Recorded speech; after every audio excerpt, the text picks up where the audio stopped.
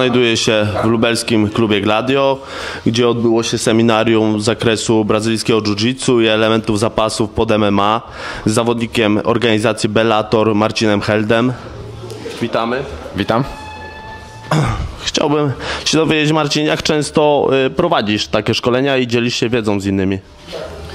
E, no jeśli tylko mogę, jak, jak, jak nie mam walki jest jakaś propozycja jakiegoś klubu z Polski, no to chętnie odwiedzam, no, dzielę się, pokazuję e, to, czego się nauczyłem, jakieś moje ciekawe techniki. No wiadomo, że może nie jest tego aż tak dużo, no bo jak już zaczyna się ten okres przygotowywań, to no nie mogę sobie na to pozwolić, no bo wtedy wszystko jest dokładnie rozpisane, co mam robić, nie mogę sobie pozwolić na takie wyjazdy. No teraz jeszcze, jeszcze mi się udało, chociaż to tak naprawdę to już są e, ostatnie dni, w których mogę sobie na to pozwolić, no bo do przygotowywania e, już trzeba zacząć. Jak oceniasz poziom sportowy uczestników e, szkolenia? No jest dobrze, no wiadomo jak to w każdym klubie jest, ten poziom jest zróżnicowany. Widziałem tutaj paru chłopaków, którzy bardzo dobrze się ruszają, łapią techniki, no więc no na każdym seminarium jest tak, że ten poziom jest zróżnicowany, ale dobrze jest właśnie, do, dobrze jest wtedy, gdy są to osoby, które e, szybko łapią, który, po, po, których widać, że, e, że są jakby stworzone do tego i tak jest tutaj. No, nie, nie, nie trzeba za dużo niektórym tłumaczyć. W minionym roku e, dość sporo startowałeś w turniejach brazylijskiego jiu-jitsu. Jakie masz plany w tym aspekcie w 2014 roku? No zobaczymy po, po, po, mojej następnej walce. Na razie nic nie mogę na ten temat powiedzieć, bo, bo nie wiem jak to się wszystko potoczy.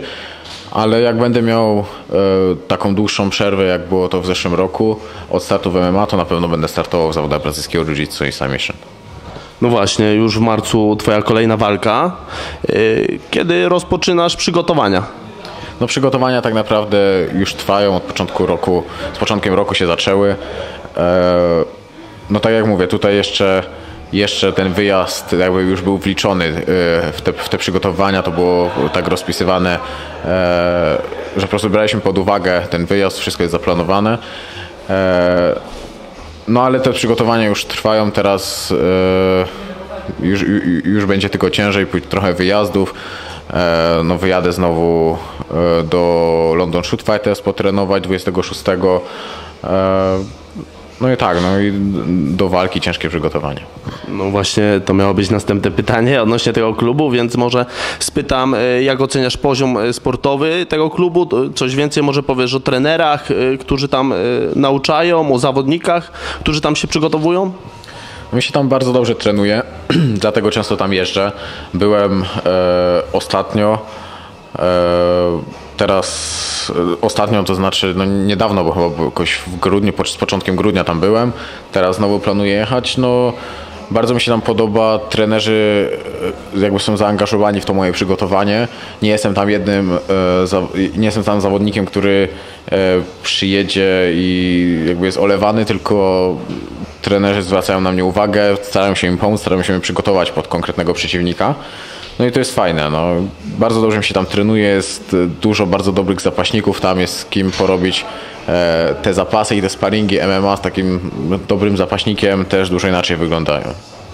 No, no w sumie na koniec e, spytam, jak oceniasz miniony rok? W aspekcie e, osiągnięć swoich sportowych jesteś zadowolony? No jedną walkę, tak naprawdę w zeszłym roku miałem tylko dwie walki. Jedną przegrałem, drugą wygrałem.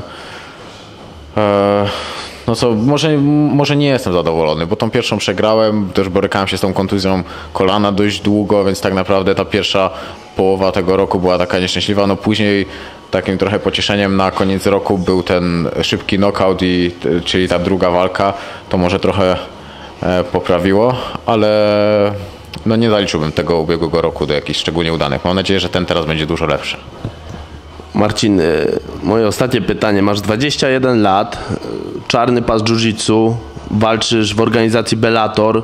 Jak to wszystko znosisz y, psychicznie? Presję? Myślę, myślę, że nie mam z tym problemu.